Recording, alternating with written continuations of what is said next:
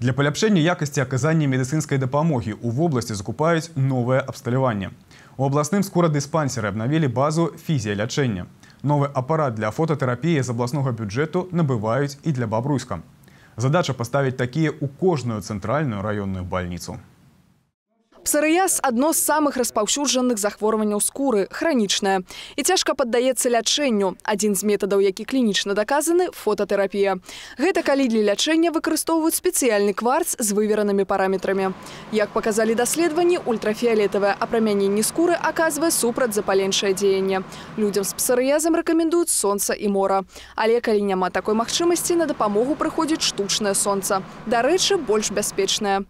Новы такі апарат закупілі ў областны скурно-венерологичный диспансер.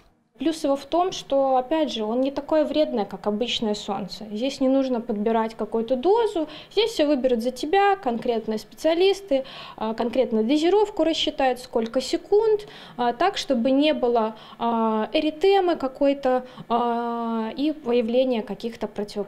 побочных явлений. Но в то же время и лечебный эффект будет. Конечно, безусловно. Узкополосная фототерапия оказывается на базе Могилевского областного кожно-венерологического диспансера.